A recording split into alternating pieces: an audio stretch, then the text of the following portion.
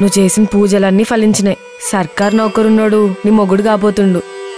ఇక పిల్లగాని పేరేందే? గోపాల్. ఇంతకీ పిల్లగాడు ఏం పని చేస్తాడే? సర్కారు ఏ నౌకరు చేస్తుంది? మస్తు పైసలు మస్తు గౌరవం. అరే మన ఆఫీస్కి ఇయ్యాలా? కొత్త సర్కార్ నౌకరోడు వస్తాడు. ఊళ్ళోకి ఎవడ సర్కార్ నౌకరోడు వస్తుండంట? అవురా గుర్రం కరెంట్ వాళ్ళతో చెప్పి నేనే ఆ కొలువు ఇప్పించిన.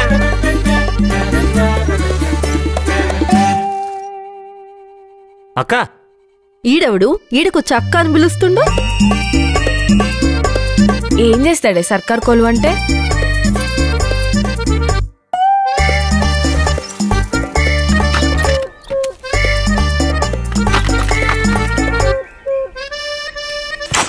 ఏ గదే? నిరోధంటారు కదా.